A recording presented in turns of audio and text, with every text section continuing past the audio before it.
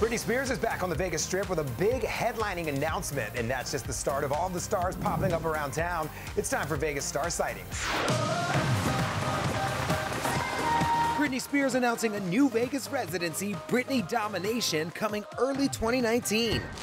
With fireworks, a parade, and video projections, the pop princess is ready to dominate the Park Theater inside the new Park MGM, joining an A-list lineup including Cher and upcoming residencies by Lady Gaga and Aerosmith. Britney Spears' domination starts in February. We're gonna pull down this, we're gonna unveil. Korn frontman Jonathan Davis unveiling a memorabilia case at the Hard Rock Hotel and Casino. They wanted some of my stuff. It's, it's cool. I've been in the business 25 years. For someone to still ask my stuff, I'm really excited. The case displaying the rockers' typical uniform and is a welcomed addition to Hard Rock's extensive music memorabilia collection. I mean, there's so much really cool stuff here. I'm back to back with Tupac. So that's insane. Look to give me a skinny microphone. Game show host Drew Carey at the Global Gaming Expo celebrating the debut of IGT's new The Price is Right slot machines. A lot of the Price is Right games are you know, you really do have to know prices, but some of them have a, a, good luck element in it, which you need on a slot machine anyway, sense of randomness. The comedian leading a game of Plinko right in the middle of the convention center floor. Yeah! Hosting The Price is Right is a dream job Drew is loving. I can't wait to go to work every day.